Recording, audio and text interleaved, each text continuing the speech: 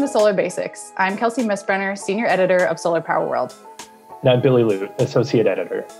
Installers have plenty of options when it comes to choosing an inverter for a solar carport project, since they aren't required to comply with rapid shutdown code. Still, string inverters are the favorite choice for these installations for a number of reasons. Los Angeles based installer American Solar Power said they prefer to install string inverters in carport arrays because they're compact and simple.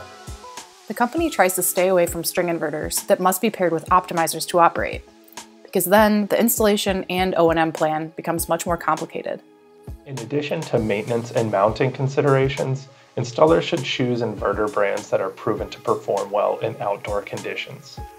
Since these inverters are exposed to the elements outside, look for models that have been tested and proven to handle both very low and very high temperatures without failure.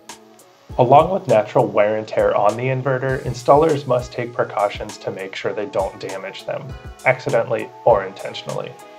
The ideal mounting solution for string inverters would be at the ground level in a locked cabinet, but usually there isn't space for that in the parking lot layout.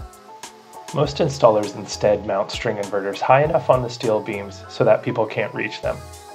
Installers should make sure solar carport inverters are safely housed away from humans and proven to withstand the elements, since they're typically more exposed than on other commercial installations.